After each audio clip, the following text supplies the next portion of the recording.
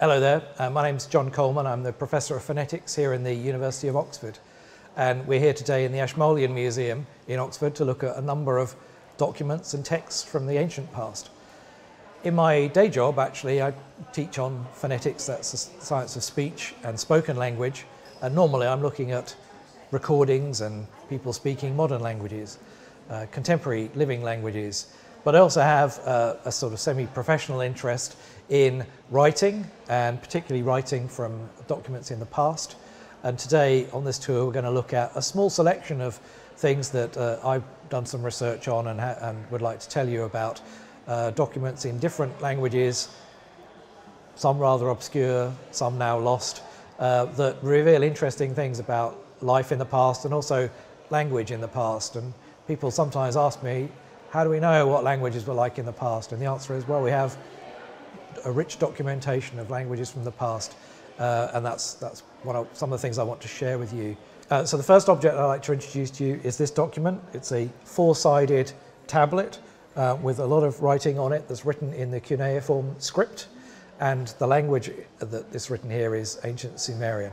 Cuneiform script was written by making impressions, sort of triangular impressions, on the surface of the clay using a stylus, which is a wooden tool, a bit like a chopstick, that was used to press triangular shapes into the clay. Uh, but a number of different languages were recorded using cuneiform writing, and the first one that we're going to be looking at is Sumerian. That's the oldest written language in the world. Um, this, this document is a historical document. It records the chronology of the kings of Sumer. Um, it was written in about 1800 BC, so it's already a pretty old document, but it records the succession of kings in Sumer back to about 3200 BC. In fact, so far back in history that really it becomes Sumerian, it descends into Sumerian mythology. They're recording the, uh, the mythical ancestors of their civilization and the first, the first kings. Um, but these are people, for instance, who had an extraordinarily long lives. They can't possibly have been real human beings. The language in which it was written was ancient Sumerian, but that was already pretty much a dying language by 1800, or at least it wasn't the language, wasn't the native language of the people living in this era at the time. At that time, uh, they were speaking Akkadian and Babylonian. These are two, two Semitic dialects related to modern Semitic languages like Hebrew and Arabic. But uh, the scribe, and the scribe who wrote this document would have been a native speaker of Akkadian. And uh, so, but he'd learned Sumerian as the learned scholarly language that was the important language of his society. So just as in more recent times in Europe, for instance, in the medieval time and even through to, well, even, even to the mid 20th century, uh, it was thought very important to have documents in Latin in our, in our society. So, uh, yeah, so the Bible would be written in Latin. Um, people would write academic books and so on in, in Latin, and a lot of uh, parliamentary records and legal, legal documents would be written in Latin in our society. It was like the, the important official sort of language uh, for, for certain kinds of activities, even though it wasn't anyone's first language. Similarly, Sumerian had the same kind of status in, in Babylonian and Akkadian society. It was the language that the that young scribes and students had to learn uh, in school. Sumerians are unrelated to Akkadian. It's a rather complex language. Um, it has uh, very large paradigms of verbs and nouns, which would have been a real test of memory for the, uh, for the scribes to learn. But, and, but we've been able to, having decoded, having deciphered cuneiform, uh, we've learnt a lot about the Sumerian language thanks to the fact that they wrote textbooks, that is grammars of Sumerian, and also uh, dictionaries, lexicons of Sumerian, and their translations in Akkadian and, in, as we'll see shortly, in other languages too. So that's a very useful resource that opens a window onto this, onto this ancient language. So in the cabinet here on my left, uh, there are a number of other cuneiform tablets that are written in the cuneiform script in a number of different languages, in fact. Uh, and some of them are older than the Sumerian king list that we were just looking at. In fact, the first few at this end of the top shelf uh, represent uh, very early stages of cuneiform at a point where what we see really are just little pictures, uh, or what appear to be little pictures, together with some numbers, and the numbers are shown by dots and half moons in the surface of the clay. Uh, and many of these are accountancy tablets. A lot of writing systems begin not with people writing messages to one another or writing down important texts, but simply recording financial transactions, uh, taking inventories, receipts, records of debts, that kind of thing. And that's how the earliest writing systems, including the cuneiform system, begins. Later on, it develops into a more elaborate writing system of the kind that we'd, we'd now rec recognize. The Sumerian king list I mentioned was uh, written by an Akkadian speaking scribe, even though it's written in Sumerian. And so it was quite normal for those scribes to use documents that were written in two languages. They had Sumerian, Akkadian bilingual texts. And uh, the unnumbered document uh, in this cabinet here, uh, rather plain looking brown broken cuneiform text, was found in uh, Egypt in the Tel El Amarna excavations, where a large deposit of cuneiform inscriptions was found. Because, of, because it's written in cuneiform, it's believed to have been written by a scribe from Mesopotamia. It's in two columns, which normally indicates uh, a bilingual text. In fact, it is bilingual. On the right-hand column uh, are, is a list of words for parts of pieces of furniture in a house, and they're written in Akkadian, the language of the scribe. But on the left, what we see is the transcription of those words as they were pronounced or as the scribe thought they were pronounced in ancient Egyptian.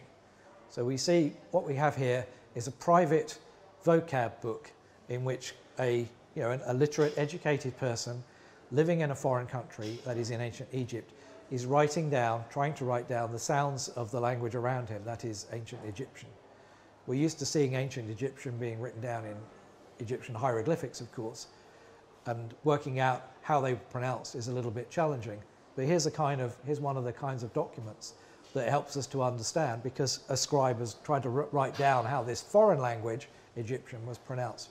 We can get some idea about how it sounded to, to him. And that's a very valuable piece of information. So in amongst all of these uh, old tablets of one kind or another, most of them are written in cuneiform. There is uh, one which is particularly interesting to me, number 36 here, which is a letter, a private letter that's written in Aramaic. This is not as old as the others. This is from about 475 BC, so about nearly 500 BC. And it's written in Aramaic, uh, Aramaic, and it's written in pen, pen and ink, on the surface of an old piece of pot. Now, Aramaic is a language that is closely related to modern Hebrew. Uh, and in fact, this letter was written, this is from uh, a community of uh, Jewish people who are living on Elephantine Island in the Nile in, in Egypt. Um, but as I say, it's written in, in Aramaic and it's written in an alphabet. So the speakers of Semitic languages such as Aramaic, Canaanite, uh, Phoenician, these are all dialects of Semitic languages closely related to biblical Hebrew. Um, and it's, as I say, it's a letter from one uh, person to another. So it's written on a piece of pottery, broken pottery. Why pottery? Well, pottery was the packaging of the day in the ancient world. Museums are full of old pots. They're used for uh, storing, all, well, all food and drink of every sort is stored in a pot, cooked in a pot, used in a pot. Pottery was, uh, was what you had around. But pots get broken. When pots get broken, what do you do? Throw it away. Nowadays, we live in a very throwaway society, but in the ancient world, people used the resources they had. And this is one of the things they used broken pots for, was writing on. It's just like if you have a builder around or a tradesman and they want to write a, a, memo to themselves, you know, a list of things they've got to get or perhaps a bit of costing, what might they do? Get a cardboard box, tear off the, the edge of the cardboard box and, and write a few words on it. Well, that's what's going on here. Most of the people at this time in the society were not literate, but a number of people were educated and they could get a job as a scribe and serve as someone who would write a letter to you community uh, where this was found was on, say, on Elephantine Island in Egypt, an island in the Nile, and there was a ferry connecting the, connecting the island to the other bank.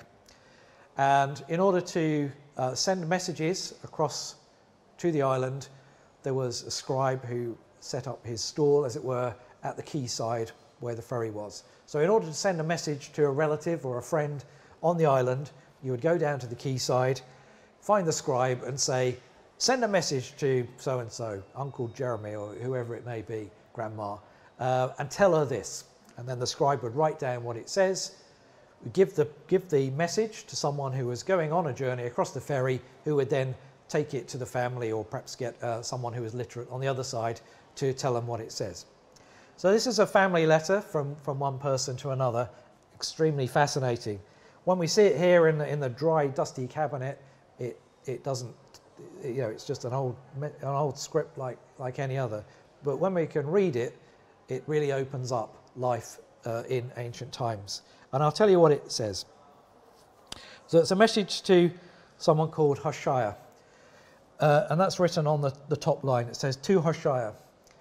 In this script, uh, only the consonants are written. In, in, in the first alphabets, uh, they only wrote the consonants. Um, and so the name Hoshea is spelled H, Sh, uh, sorry, H, W, Sh, A, Y, H. And that's the same name as the biblical name of the prophet uh, Hosea. It's in the, in the Old Testament. But that was a common, um, a common name uh, amongst Jewish people uh, at that time. And this says, to Hoshea, the second line says shalom. Still a word we recognize um, from, uh, from Hebrew, the Hebrew greeting, peace, you know, greetings.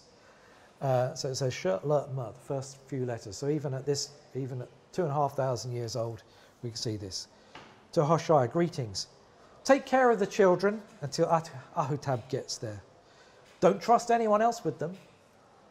And then on the other side of the, the ostracon, the, remain, the letter goes on. If the flour for your bread has been ground, make up a small portion of dough to last until their mother gets there. So he's explaining to them how to feed the children. And then he concludes by saying, Let me know when you'll be cele- celebrating Passover.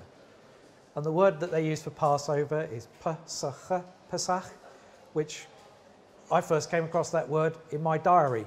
So even in, you know, in everyone's diaries, those days when they have the page at the front with the different uh, dates and festivals of, of different cultural cultures, um, in the in the section on I think it was April this year, uh, it says the, the first day of Passover is Pesach, and that's the word that's used even in, in the modern Hebrew language, and it appears even in English diaries. But there it is. Let me know when you'll be celebrating Passover. And then it concludes, Tell me how the baby is doing. So it's a beautiful little glimpse of family life in ancient times. So this uh, hieroglyphic inscription is written not in Egyptian hieroglyphs, but Luwian hieroglyphs. And the Luwians were people who lived in uh, ancient Anatolia, modern day Turkey, and also northern Syria, northern Syria. It's one of a number of people who lived in that area at that time, uh, the better known of whom are actually people who we now call the Hittites. And the Hittites weren't known to ancient civilization other than through the Bible. So it was a bit of a surprise when Hittite civilization or the documents and letters of Hittite civilization were eventually discovered and the Hittite language was deciphered. Uh, this group people, the, the Luwians, spoke what you might call a dialect of Hittite, um, but they had their, their own hieroglyphic script. Uh, as you can see, it's quite pictorial. And what we've got here is this would have been a big monumental um, inscription celebrating a particular king. We know it's King Cumanus. And, um, and it, perhaps it would have celebrated his great military victories or his important status as a king. Um, but all we have left here is the bottom end of the inscription, and it ends in a warning or even a, a sort of curse in a way, uh, invoking people not to deface or defile the document. It was actually not uncommon in the ancient world when one uh, king conquered another's territory uh, they might well chip his name out of the inscriptions to sort of obliterate his name, the, the, the loser's name from history. Uh, and so what it says, what the part we've got left says exactly is uh, this, I'll translate. It says, uh, what we've got here says, whoever hammers away these words, against him may the thunder god, the god Karhuhas, and the god Kubaba by prosecution do something or other. I just want to look at a few of the words and names. So you can see this symbol here, which looks a bit like a guitar, is in fact the symbol for a hammer. and that's used there for the verb to, to chip away, because of course inscriptions like this are made literally by chipping away at the, um, the stone with a hammer. There are three names of gods, and the symbol for a god is this symbol here, here, and here.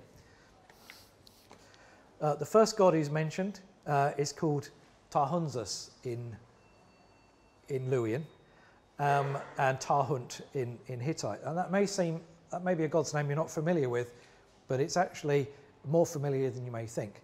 Because Luwian, unlike some of the other languages we look at, is actually an Indo-European language that's related to modern European uh, languages. Uh, and so the name of the thunder god, uh, Tarhunzas or Tarhunt, is actually related to the name of the Norse god Thor, for instance, the thunder god. But the name uh, Tarhunzas or Tarhunt is also thought by many philologists and uh, linguists to have survived to the modern day as the name Tarquin. So the, uh, the, it's thought that the Etruscan civilization uh, borrowed the name of the god Tarhunt, uh, and the Romans borrowed the name from them as Tarquin, the legendary first kings of, of Rome, and now we have Tarquin as a, a modern male personal name that we've uh, got from uh, Roman times. So the second god mentioned here is Karhuhas, uh, and then the third god is Kubaba, and that god or goddess also has a, um, a bird as, as their symbol. Uh, and this is, in fact, a goddess, Kubaba. That's a name that was borrowed by other people in Anatolia. For instance, the Phrygians also worshipped Gubaba, uh, and the Greeks borrowed a version of that name as Kybele, the, um, the, the, goddess Kybele. So that comes from the Anatolian civilizations. So, and, and, what will happen to the person who defiles this object? Well, the gods will do something uh, terrible to them. What is it exactly? Well, that's denoted by this symbol in which we see two faces in profile looking at one another. That's a, a symbol that's sometimes used to mean to argue with one another, two, two, two heads looking at one another. And there's an object in between them which symbolizes something, I'm not sure what. Um, but uh, this hieroglyph, as it were, this symbol by its, uh, in this form, is taken to mean something like to dispute or to litigate with one another in law or to one person to prosecute another. That's the symbol that's used for that meaning. So when we visit a museum like this, we see all these interesting historical artifacts, and they're very important objects from their time. But very often they'd have some kind of text, some script, some language. Um, they bear some text or some script or some language. So keep a look out for that kind of thing when you're going around the museum.